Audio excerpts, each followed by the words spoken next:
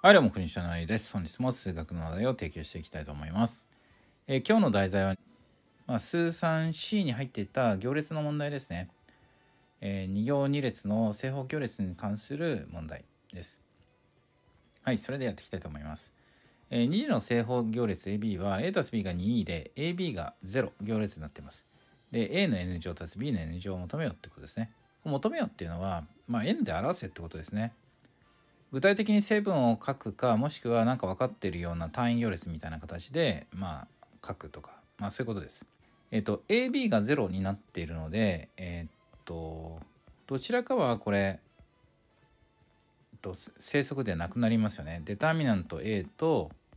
determinant B の積が0になるのでつまりどちらかは0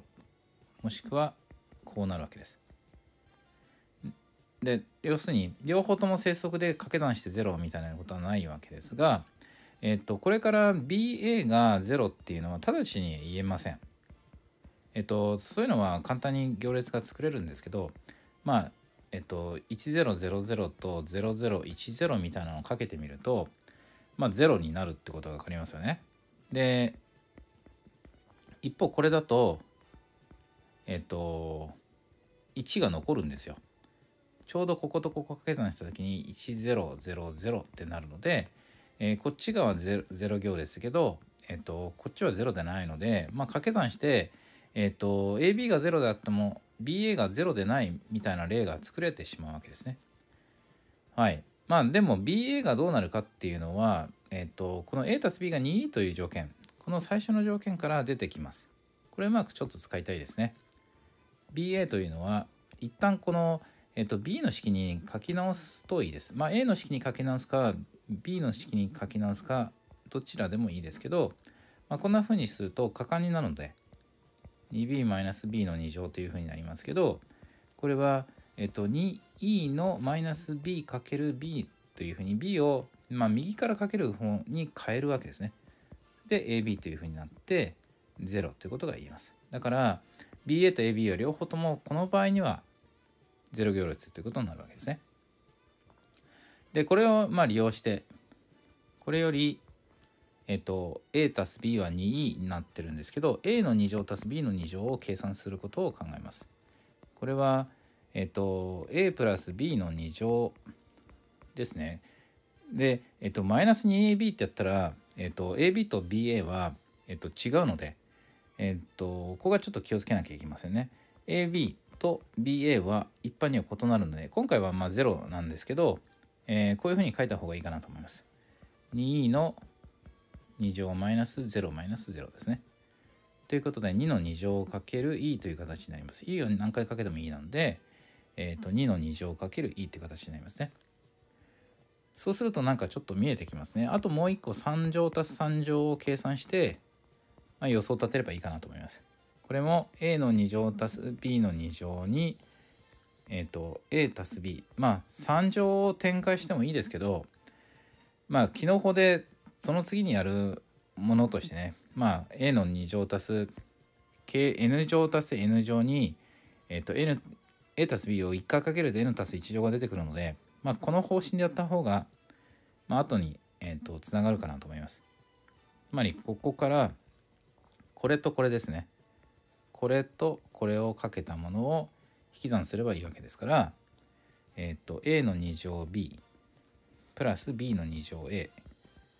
これ引いたものですね。でちなみにこれは AAB ですから AB が入ってますここに。つ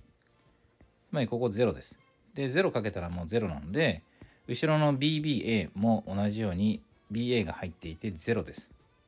したがってこれも同じように0を引く0ってことですね。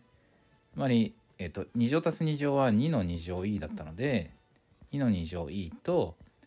2e を掛け算して2の3乗 e という形になります。つまりこれは n 乗足す n 乗は2の n 乗 e になると推測ができるわけです。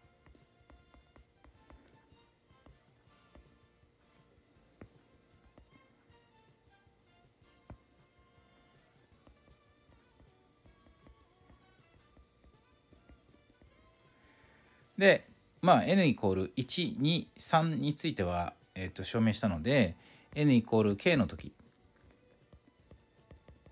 台が成り立ってるということを仮定して2の形状 e ですね。でその n イコール k たす1の時の a の k たす1乗足す b の k たす1乗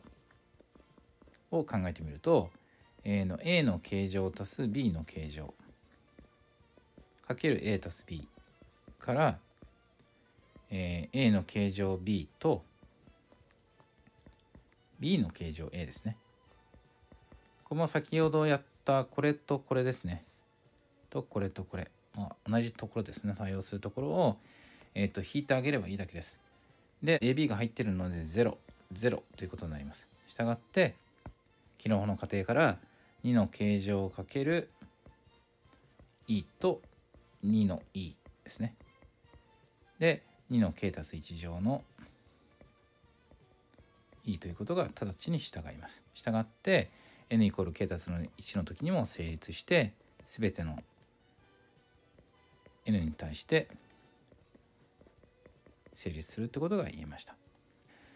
はい、めちゃくちゃシンプルな形になりましたね。まあ、えっ、と、BA が0になるっていう、ここがやっぱり、えっ、と、気が付くかどうかが差として現れてるくるかなと思いますね。